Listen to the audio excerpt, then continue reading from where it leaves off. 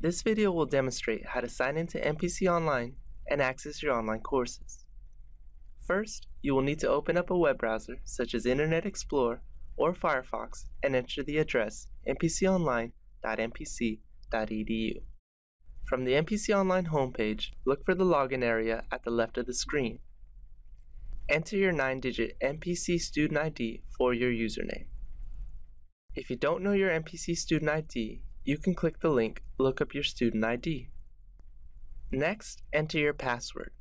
If this is your first time logging into MPC Online, use ChangeMe, all one word, all lowercase for your temporary password.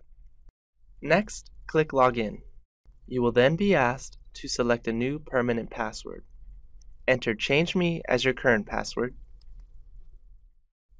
Then type your new password twice in the spaces provided.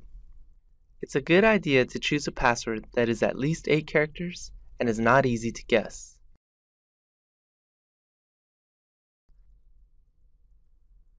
Next, click Save Changes. Click Continue. You should now see your MPC Online homepage with a list of your courses. Click on any of the links to access a course.